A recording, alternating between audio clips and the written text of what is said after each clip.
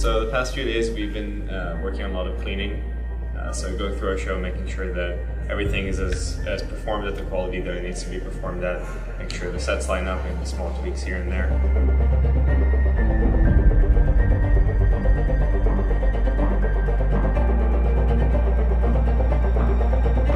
Before each show on the side field, we always make sure that we know our new changes, make sure we know all our new effects are being put in, and making sure that we're all together in counting.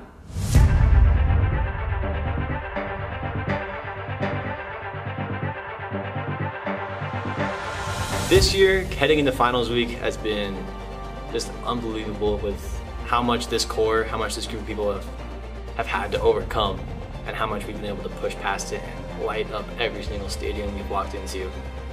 It almost doesn't even feel like we're about to head into finals just because of the way this season has gone. Almost feel like we're on the first week of tour still. I've never seen a group of people overcome so much in so little time and completely rewrite their history in such a short amount of time.